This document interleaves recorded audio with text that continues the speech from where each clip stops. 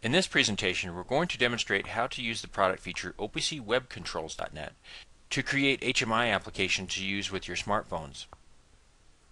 You can use Microsoft Visual Studio 2005, 2008, 2010, and also the free version from Microsoft.com called the Web Designer Express.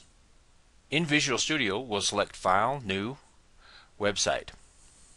Set the target framework to 3.5 or 2.0.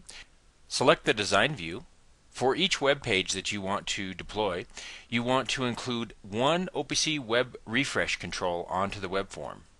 So let's drag that onto the form. If you want to display a value, you would use an OPC web controls label control. Right click to select properties.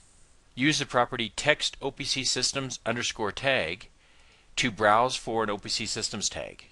If the web application is going to reside on the same computer as the local OPC system service, you can just select local. You can also run your application remotely. Simply include the IP address, network node name, or domain name in the network node field, and then hit select. We'll select the tag ramp value. Another common control is to use the OPC Web Controls button. We'll select that and drag that onto the form. We'll put that in a new paragraph.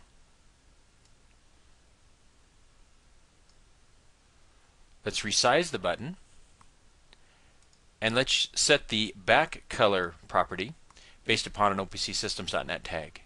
We'll also define to set the value using the set value OPC Systems tag property. And the last thing is we'll change the text of the button based upon the pump.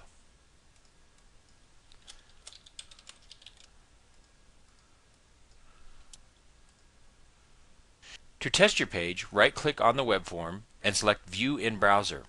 Save your changes. And here in the browser, we see that we have the current value of ramp as well as the current status of the pump is currently on. If we click on the button, it will turn the pump off and we'll see the button change to red. If you have any more questions about OPCWebControls.net or any of the OPCSystems.net product features, visit our website at opcsystems.com.